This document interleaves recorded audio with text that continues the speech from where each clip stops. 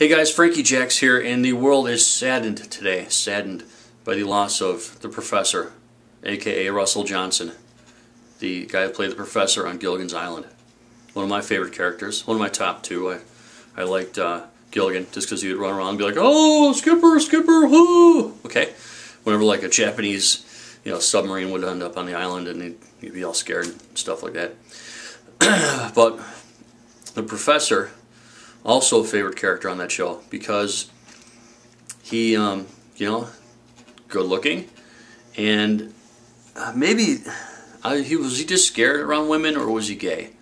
Because Ginger tried to dry hump him plenty of times, and from what I understand, Tina Louise, Tina Louise, she's kind of a freak. So, uh, you know, he could have laid pipe to her anytime he wanted to, but. Whichever. Neither here nor there. Could have made a sandwich with the uh, Ginger Mary Ann thing going on. Anyhow, uh, he's dead. Died of kidney complications, failure, what have you, at uh, age 89. And, uh, you know, to celebrate his passing and his life, more his life than the passing, we're saddened by that. Okay. Contest time. Frankie Jax t-shirt is going to go to the first person who can, on Facebook or YouTube, need you to comment it's Frankie Jax on Facebook, and um, and it's uh, Frankie Jax on YouTube.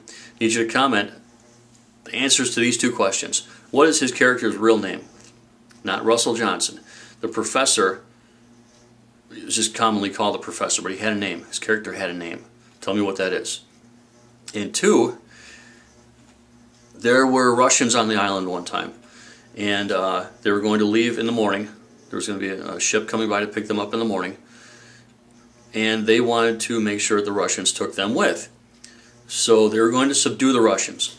Tell me how they were going to subdue the Russians and what allergy prevented the professor from participating. Uh, let me know. Let me know. Comment down below. Give me the method of uh, subduing the Russians, the allergy that kept him from participating, and character's real name. Let me know down below. To win a Frankie Jax t-shirt. It's going to be awesome. Awesome. All right? Peace, guys. Rest in peace. Russell Johnson, only Tina Louise and Dawn Wells are left. I really want to see Mary Ann outlive Tina Louise. Is that wrong? Is that wrong of me to say that?